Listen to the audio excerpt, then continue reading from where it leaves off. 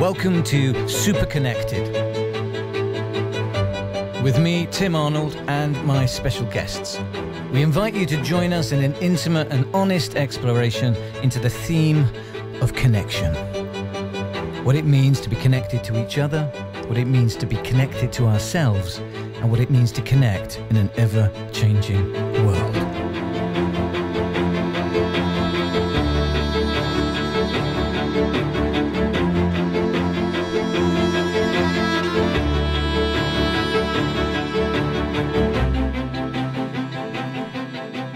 Welcome to Super Connected. Sam Vaknin is the author of Malignant Self Love Narcissism Revisited and a professor of psychology in the Southern Federal University in Russia and in many other universities. He is a physicist and a philosopher as well, professor of finance and former economic advisor to several governments and multinationals. Sam is joining me from Skopje in North Macedonia and I have invited him to come and share his thoughts on social media and human behaviour. Sam, you are Hello. connected. Hello, how are you? Thank you so much for agreeing to do this interview. Absolutely. Thank you for having me. Um, just for you know any listeners who are um, hearing about you for the first time, I mean, I've given a sort of potted biography of what you do, but what are you working on mostly at the moment? Because we've got psychology, uh, finance, um, uh, you're a philosopher, um, and of course, um, one of the world's leading um, authors um, and um, you know sources of information about narcissism. What are you working on mostly now? Well, I dropped the economics thing, and now I'm concerned mainly with the theory in physics, which I've developed in the early 80s and has been taken on by mainstream physicists. So that's actually my main concern right now. and on, on the sidelines, I teach psychology and still pursue my studies of personality disorders, now expanded. Started with narcissism, but now it's more into personality disorders, which is a whole, a whole field. Yes, and we'll we'll talk a lot more about personality disorders because that's that's part of what led me to finding out about you and um, all the work that you do. And it's fair to say you're a polymath, aren't you? Because you've you've got your fingers in a lot of different pies. Well, as I told you yesterday, I think we are all forced to be polymaths. We all have two, three mm. careers in a lifetime. We live much longer we are forced to multitask and so on and so forth. And these these are excellent definitions of a polymath. Now, um, when I first came across your name, um, I think it was on a Richard Grannon documentary. Is that right? Yeah, um, might well be. Uh, I may have Googled the words social media and toxic. right, toxic, and, uh, would, toxic would pertain to me. Yeah, and uh, and up you popped. Um, I've I've been working on a project for some time, which has been my own exploration uh, through music mainly uh, and film about social media, about the narcissistic sides of that uh, in terms of wanting to share as much of ourselves with as many people as possible. Um, there were some wonderful things that you said that resonated with me in a way that I'd never heard anybody talk about it before when I listened to you um, on the documentary. There are 2 billion people using social media in the world today. Is that right? Um, more. Two billion people use Facebook. Ah, that was uh, specific to Facebook when you said yeah, two billion. Indeed, it's closer to closer to two point six billion. Wow. Yeah. And what struck me was that you you compared it to or the use of Facebook to a virus. And you sort of talked about it in terms of a virus and what happens. Can you explain that a little bit to me now? Well, the truth is that we use models from epidemiology and virology to describe various social phenomena which incorporate a pronounced dimension of networking. And so, um, in the case of uh, social media, which are by definition networks, um, the use of, of such models is, is instantaneous and, and automatic. There is no hmm. value judgment by comparing social media to vir- viri or viruses, we are not making any value judgment. We're not saying they're bad or they're good. We are just describing the modes of propagation and the modes of evolution of the networks. Yeah. But one, one thing which might be of interest now in, in the days of the coronavirus Sure. is that the, the overwhelming vast majority of viruses are self limiting. In other words, they have an inbuilt mechanism, the nature of which we are not quite um, acquainted with, but they have a, a, an inbuilt mechanism which stops, stops them dead in their tracks, so to speak. Yeah. They, they infect a certain population and then they stop. And we think this is in order to self preserve so that they can have, have additional healthy hosts in the future. If, if comparing social media to viral networks is a correct anal- analogy, this would mean that shortly the growth of social media would stall and then they will reverse and then they will become much smaller, these networks. And you you think that's likely? Yes, actually, I do. I see signs of people signing off um, Facebook, uh, closing accounts, going uh, going off the grid, going offline. I see a counter revolution in in uh, developing um, in some parts of the world, and I think people are fed up with the toxic emanations from cyberspace in general and social media in particular. So yes, I, I do see a, a counterculture developing. But the part that I'm I was really interested in is um, just how we communicate with each other, and you and I now are actually communicating with the help of the internet. So it's not a good or bad uh, thing. It's it's a container. I guess it's the way it's used by some of the companies. Um, do you think that narcissism is something that um, I mean, I'm I'm going to obviously it, it, Narcissus and Echo, the beautiful fairy tale, um, it, it is as as old as anything. It's not. It's nothing new. The concept of falling in love with the reflection of yourself, um, but uh, that's right, isn't it? Because some people get it confused that it's falling in love with yourself. It's not. It's a reflection of yourself, isn't it? Narcissists, narcissists don't have a self and they don't have an ego. So they are not egotists, definitely. And your your definition is a correct one. Narcissists fall in love with a reflection. Yeah. They fall in love with a reflection of a of a piece of fiction that they had concocted, a script, a narrative that they had concocted early on in early childhood, and then they project this piece of um, this piece of fiction, this narrative, onto others, and they feed off the reflections, feed off the reactions, the feedback, the input that they get from others. And so that sounds like social media is a natural habitat for narcissists. But what I wanted to ask you was: Is has social media brought all the narcissists out to play, or or is it creating narcissists out of people who didn't have um, NPD, any kind of disorder before? I think it would be. I, I think it's uh, uh, critical to emphasize that social media were designed with addiction in mind. There is, if you regard addiction as a, as a negative thing, then there is malice or malevolence involved in the design of social networks. Yes.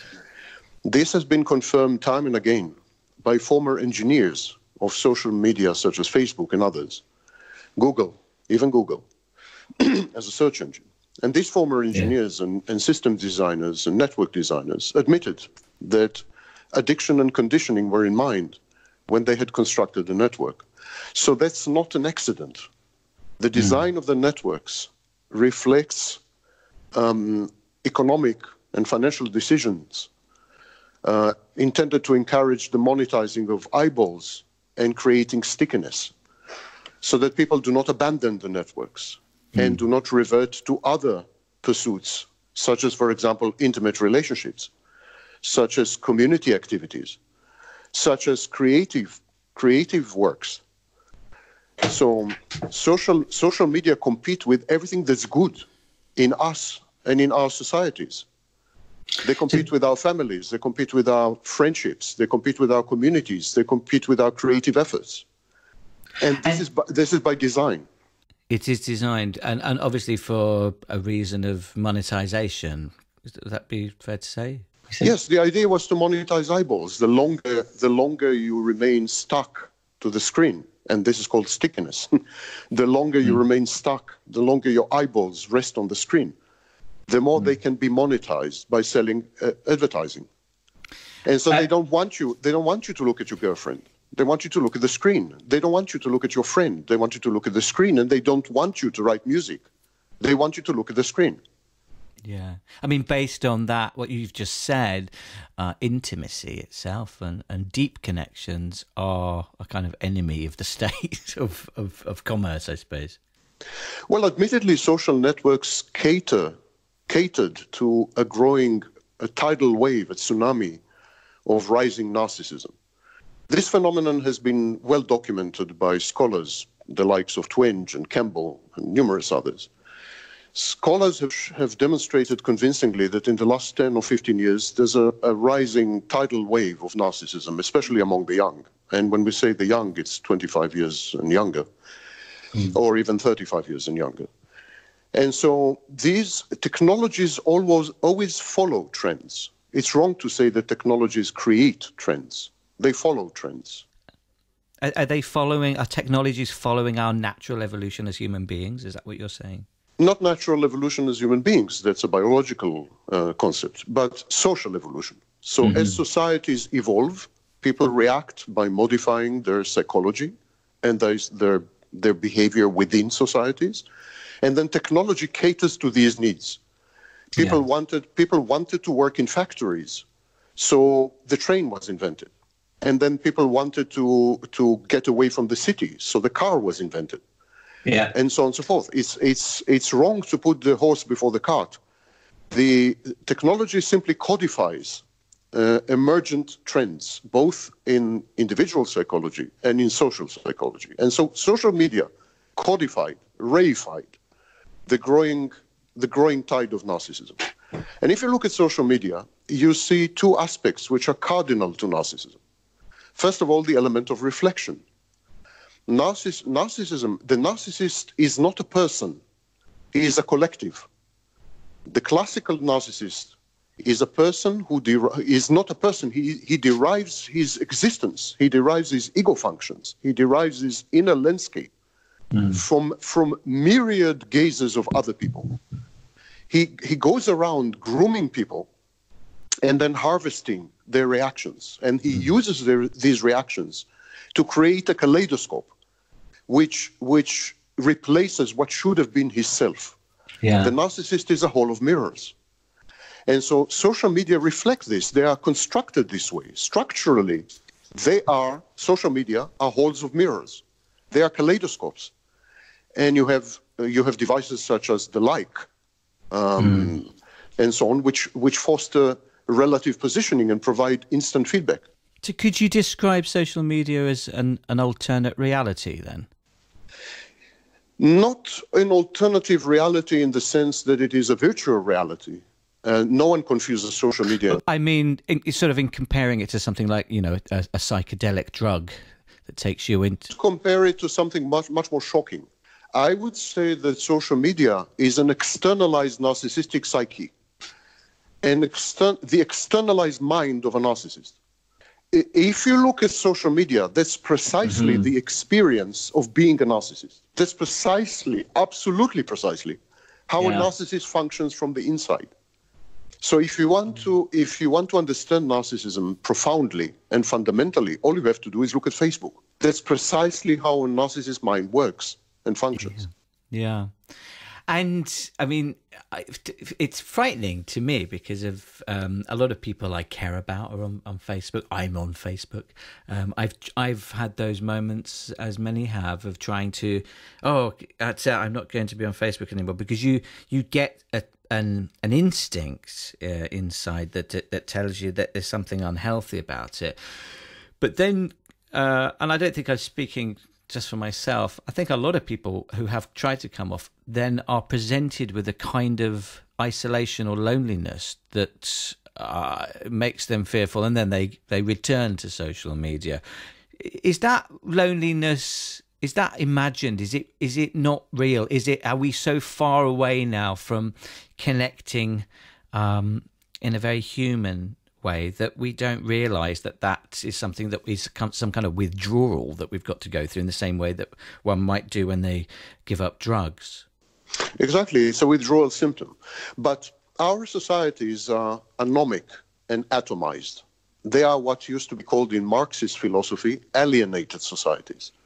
These are societies where individuals function, function as atoms and each atom has its own solipsistic, isolated universe, self contained, self sufficient, and is, is not in need of any services or goods, actually, from the outside. Mm-hmm. Today, today with, a, with a typical smartphone, you can, you can do absolutely anything that used to have been done 50 years ago um, by, by publishing companies, by media companies, by, I mean, you're a one man, a one man economy. Yeah. So you, you don't really need anyone. You need people to grow your food, maybe, but that, mm. that's more or less it. You don't need anyone. This was the big thing in, in, uh, that you said that that really affected me uh, when I heard you speaking in, in Richard's documentary. Was that in some time from now in the future, there'll be two different kinds of human beings, or I mean, there's millions of different types of human beings already, but you said that you could quite clearly categorize them into those that have followed uh, the social media path into this schizoid isolation and those who have not. Um, is that right? Have I got that right? Yes, I think you, you have. Generally, you get things right, by the way. So here's a narcissistic supply for you.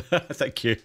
got, you got this one right. I think there will be anywhere between two to three billion people who will not who will fail to wean themselves off social media. They have they will have become so addicted and so how conditioned. How many? I think between two and three billion.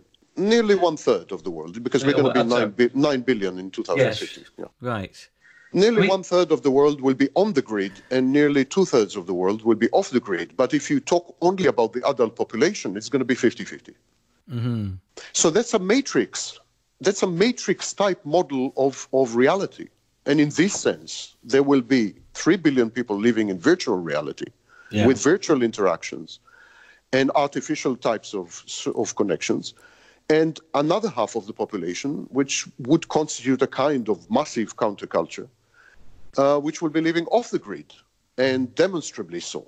It will be kind of an act of, pro- of protest. And, and I think these two irreconcilable um, lifestyles will ultimately clash.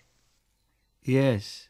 I mean, it's a kind of terrifying thought uh, to picture what you're saying, and I know, I know, I know you say it uh, scientifically speaking, and and with with great uh, research. The people who are on the grid, on the grid, I mean online. People who, who use the internet as the main gateway to the world. They consume mm-hmm. news via Facebook, 46% of them consume news via Facebook. They surf, they are on social media, they, they use WhatsApp, etc., etc. So these kind of people, people who live mostly online. These people dedicate much more time to cyber to the cyber to cyberspace than they do to their own children, if yeah. they have children at all. People people today spend an average of f- almost five hours a day, mm. five hours a day online compared to three hours of television. Uh, books are out of the equation. And, uh, and they spend an average of one and a half hours a day with their children. How does it make you feel, Sam? I mean, feel. How does it actually really make you feel? I don't feel. I don't feel either way. I, I, as I told you, I, I'm not quite sure that the previous model had worked so perfectly. Mm. I mean, we did end up with two world wars and genocides and so on. I'm, I'm not quite sure we we made a hash of it. I'm not quite sure because we had a model, a very a very clear set of institutions which were developed mostly during the agricultural revolution. Mm. And these institutions have survived despite massive technological upheavals. This mismatch, this discrepancy between technology, in other words, human capability, and the institutions which were supposed to contain, channel, and amplify these capabilities, this discrepancy was detrimental to the human species. Mm. Perhaps it is time to develop new institutions, and perhaps these institutions will be highly individualized. to the point that every individual will, will, have, be, will have become his or her own institution. Mm. And that's sort of happening a lot at the moment, isn't it? People are becoming their own institutions. Well, people have the capacity today to publish a book. They have the capacity to broadcast. They have the capacity mm. to communicate subver- subversively. They have the capacity to flash mob. They yeah. have the capacity to topple regimes, which they have done profusely all over the world with the help of social media. Yeah. So indivi- this is the age of the individual. I mean, I, I know it doesn't look this way, but, but it's absolutely the age of the individual. And yeah. of course, we have malignancies. Everything in you, every phenomenon in human history and human sociology and human anthropology has a malignant equivalent. And of course, the, the malignant equivalent of individualism is rampant or malignant individualism, also known as narcissism. Mm.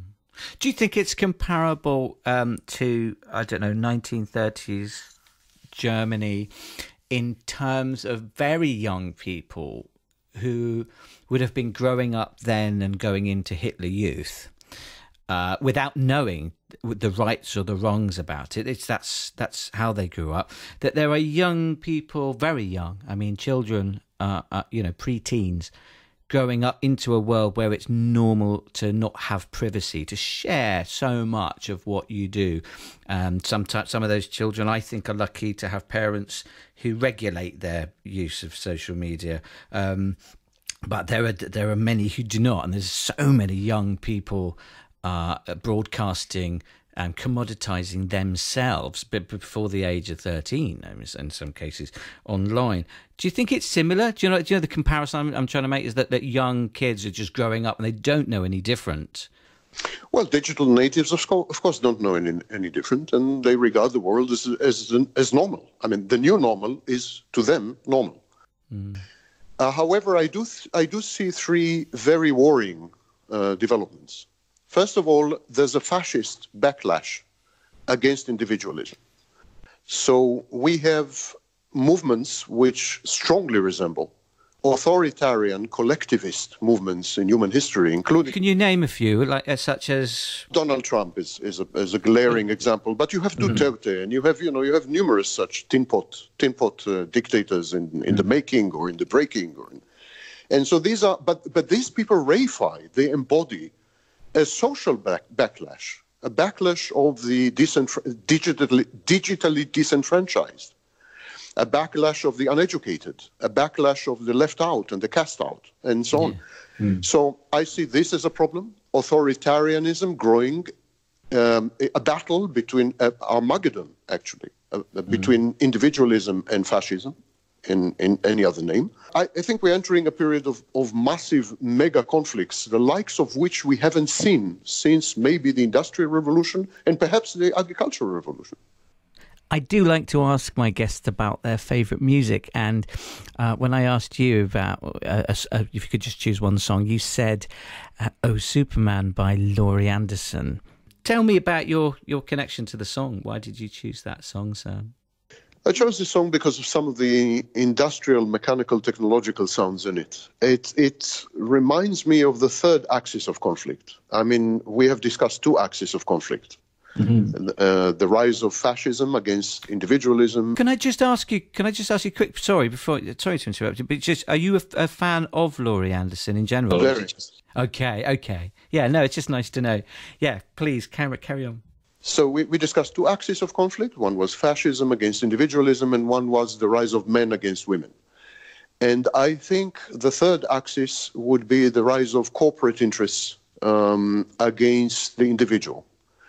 So I think there are two forces arrayed against individualism. One is fascism, which is the state power, the nanny state, the intrusive state, the authoritarian state. Yes. But on the other hand, on the other hand, also commercial interests, multinationals, who prey on our digital data and are as intrusive as, as a state, and very often much more so. And as, as authoritarian as a state, and very often much, much more so. Anyone has read, uh, anyone has, uh, who has read the agreements which Google forces you to digitally sign before you use their services would understand what I'm saying. Very few people uh, do read them, including me. I'm guilty of not reading Yeah, I'm I'm not mentally well, so I, I read them. I'm not sure. Excuse. I'm not sure if I'm, I'm I'm not mentally well because I've read them, but still, yeah. Well, it's a good job you did read them because you can tell us about them. well, they are they are they are a, dic- a dictatorship manifesto, all of them, all all EULAs, you know, EULAs. Yeah. All of them are dic- are dictatorial, authoritarian, intrusive, confiscatory um, manifestos.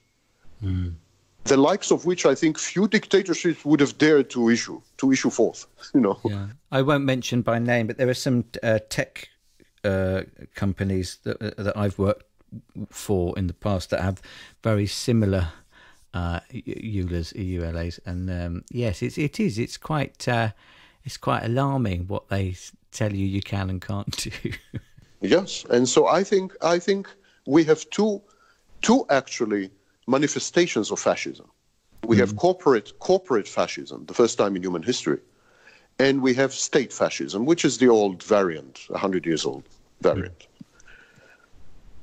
And um, in terms of music, uh, which is it's been the the most important part of my life for the last 25 years um, listening to music making music writing music and and interacting with other people, you know, in a very intimate uh, way, uh, musically, creatively. It's it, it, its existence now in uh, the the realm of the internet and social media is, to me, feels very secondary. Um, I, I just interested uh, what you felt about that because um, I might have got it wrong. I think some people just say that I'm a bit old fashioned, but uh, I, I keep noticing that it's really hard to share any sounds without showing somebody something they can look at. Nobody's being inspired to shut their eyes. mm-hmm, mm-hmm. And I think a lot comes from shutting your eyes, isn't it? Because it's a, it's a bit like when we go to sleep and, you know, dreams, as you'll know because of your experience as a psychologist as well. I mean, dreaming is such an important part of what we are as human beings in many different ways. And it all happens when our eyes are closed. but the... we, we, we live in an age of regression. And one of the regressions, multiple regressions, in terms of human human the history of mankind, the history of humankind. Mm. So one of the major regressions is we we started off with visuals, human human art, human culture, human all over the world, from Altamira to you name it. It it was all based on visuals. You had cave paintings, sure, cave texts, yeah, yeah, and then about five thousand years ago, with the Phoenicians and then the Egyptians, we transitioned to text. There were ideograms and other forms of text, but we essentially we transitioned from from images to text. Yeah. And then there was a period of about 4,000 years in which text, text reigned supreme. We were text-based cultures and societies. In hmm. medieval monasteries, people preserved text. This is the great period of the, the libraries and yeah. Exactly, a great period of libraries, and then and then Gutenberg and the printing press and newspapers and newspapers and you know all all all forms and manifestations of text and, and textual graphics and everything had to do with text. And I think what happened in the past 20 years is again one of the one, an amazing revolution. We are regressing back to the Altamira cave. We have a digital cave akin to Plato's, where visual shadows play on the walls. So we we have abandoned text in favor mm. of images and visuals.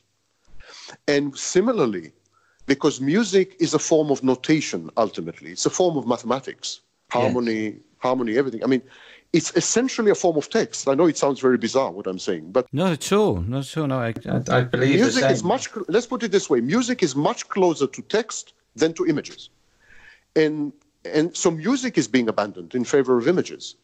Everything that is not image and not visual is abandoned as a scientist and uh, and somebody that isn't just uh, guessing entirely from their imagination like I do all the time, um, you you obviously must make some predictions of what you think may happen in terms of the way people are communicating uh, uh, on social media now and the way music um, and art will be um, used uh, in the future. I mean, what what what thoughts do you have about it all? Because it, it, it sounds like uh, some of the older ways are returning, and again, I think it's it's quite important to say there's no judgment on whether it's better or worse. It just seems like a lot of the ancient um, ways that, that we would have approached life um, are coming back sometimes. There was another old codger by the name of Hegel. Hegel Hegel proposed the mm. trilateral model of human, de- human development, development of human societies and ideologies and so on. And that's the model of thesis, antithesis, and synthesis. Mm. And I think I think similar trends are, are happening. Even if in music, for example, jazz, jazz is an example of a synthesis between the author-based model, these are the solos in jazz, yeah. and the, the group collaboration model. So jazz is a pretty recent phenomenon, relatively speaking, and it embodies a synthesis between mm. the two rival models. I think in music, I'm, I'm giving this as an example because you're a musician. Mm. And I think similar things are going to happen with regards to human communication and human interaction. We are entering an age of augmented reality. That is the ability of, of com- computerized digital information to be projected onto our reality so that we wear special glasses or maybe mm. contact lenses in the future. Yeah. And we see the, instead of, of looking at a screen, we see the info or the entertainment or whatever in the air, superimposed on real buildings and on real people. Mm. So I think we are going to synthesize everything ultimately. We're going to go to a bar. And as we go to the bar, we're going to get information from Wikipedia, if it still survives, about all the important historical buildings on the way. And then we're going to meet our friend and we're going to see biographical information about mm. our hmm. friend, which he had allowed us to see and then we're going to have a drink with that friend and we're going to see uh, hanging in the air a description of the drink its constituents and ingredients and so on and, mm. and, and, so on and so forth it's all going to be seamless in the yeah. near future it's all going to intermesh and interlace and we are gradually the distinction between real reality virtual reality and augmented reality these mm. distinctions are going to blur they're going to look very artificial. I mean, the digital natives of, the, of 2050 won't understand this conversation at all. Gosh, yes. I mean, it, it, it, all of those realities sort of come under um, what um, Arnold Mindell would would term consensus reality. Um, what do you think about uh, alternate realities? What do you think about dreaming and social dreaming, which is um, it's something I've learnt about quite recently, but oddly was also discovered in 1982, which I know that's that's an important year for you too, isn't it? yeah, it's the year that I I wrote my my doctorate in physics. Yeah, yeah. Um, do you know about social dreaming? Yeah, yeah. What do you? What are your thoughts about that? I mean, I'm fascinated uh, because you've got such you know, strong um, scientific kind of uh, view on so much. What? What? Ever since um, a chap by the name of Descartes, uh, René Descartes, mm-hmm. in in the 17th century, yes, we have had this misguided belief that there is reality and there is us like we are observers, we are spectators, and we uh, we document uh, what we see and what we. There was a split in the world. He created a schism. He broke the world apart. He created the duality of mm. the world and us. He did admit that the only certainty is that one exists. One cannot be certain about reality. But he still he still made this distinction. He still broke the world into two two big big pieces. And of course, this was very artificial and very wrong. We do not perceive we do not perceive reality. We perceive internal processes in our brains. We are inward looking. We are introspective. We, we, we sample the world by the way, a very low bitrate sample, mm. which would not pass with any music studio in the world. so we, we sample the world and then we take these bits of info and we we insert them we apply them we apply models in the brain mathematical mathematical complex models that we have in our brains and we create reality as we think it should be yeah. now so we live inside our minds in any case these yes. these distinctions between real objective reality and subjective reality and alternative reality and dreaming in the individual and social dreaming and this, all these distinctions are a misunderstanding of how our brain operates. The solution or the answer to your question lies in an obscure field called neuroscience. We are beginning to understand the brain and our senses in ways which have defied us for millennia. And what we are discovering is nothing less than astounding. There is no world. The, the ancient Eastern mystics were right. There is no world. Mm. There is there are just ever shifting kaleidoscopic models of the world, which are triggered by external stimuli. These external stimuli are, of course, by definition, outside outside us. Yeah. But the models are where we live. We inhabit the models, not the world of the stimuli. Mm-hmm. Now, if we can generate and create stimuli in other ways, the other models in our brain will be activated and they are equally valid models. It's, it's very important to understand. People keep asking the utterly idiotic, inane question Is, mm-hmm. the, world a, is the world a simulation? Who cares? I like that. A answer. simulation, a simulation yeah. is reality. Yes. A simulation has to take place in somewhere. It has to consume some resources. It has to be in, in, in some hardware, or if not in some hardware, it has to be in some brain. It, it has to have an existence. As long as it has an existence, its validity as a construct is mm. equal to what today we erroneously call reality. And of course, whatever the reality is, uh, we have to learn to survive in it, right? Yeah, the models we have in our brain are survival friendly of course. These are not accidental models, and Darwin was right about this. These models were created very carefully, crafted very carefully over millions of years to aid and abet our survival and to allow us to convey our genes forward in time. Um, Dawkins just before we finish, I almost asked you about everything I want to ask you about, but we could I could uh, listen to you for hours. Um, we try. Thank you. That makes two makes two of us. ah, it's very kind. Um, it's it, it's the obviously the the climate change situation that has gripped all of us. Um, you know, in the, probably over the last 20 years, but certainly in the last few years, uh, is that is that something you feel where the planet without the human beings on it has its own voice? Is it trying to say something to us?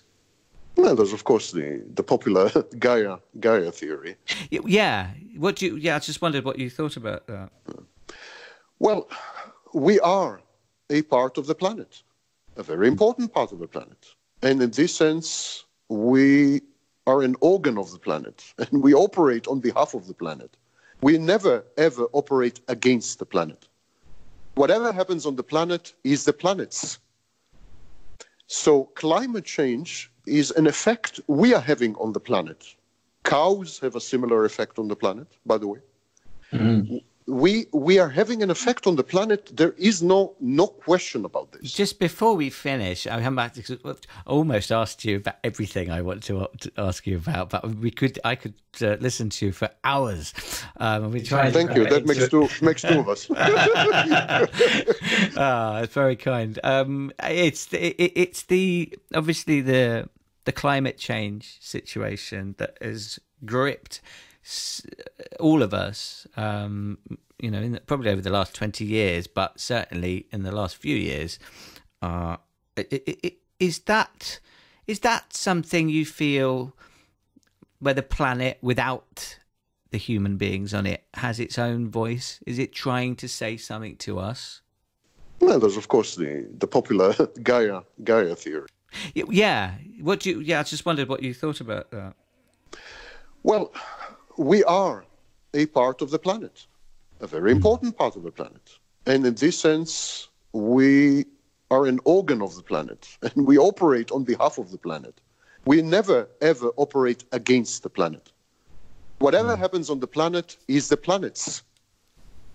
So climate change is an effect we are having on the planet. Cows have a similar effect on the planet, by the way.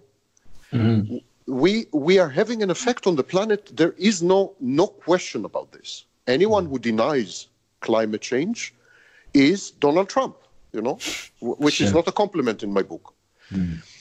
But the, me- the metaphysics of climate change, the philosophy and ideology which were spawned by this indisputable scientific fact, they are wrong. Yeah. Climate change is a, is a natural phenomenon because we are a part of nature. This is, this is Descartes. This is the Cartesian mistake of saying there is us and there is nature. No, we are part of nature. Yeah. I I really could talk for so much longer, but we've only got an hour on the show. I have one last question, um, and I, it's the same question I ask everybody on this show, and that is, what is the most important connection in your life, Sam? Connection, you mean human connection? A- Any? No, it can be any. The, Books. Uh, uh, books. Book, hand, hands down, books. Yeah. I'm addicted to books. I love books. I love the smell. I love the texture. I talk about books the way most men talk about women. I make love to them. Oh. Well, that sounds like a very harmless and healthy relationship. Not, Sam not for the Vaknin. books. Sam Vaknin, thank you so much Thank you for having for me. being my guest, and uh, look forward to talking to you again soon. so do I. Take care.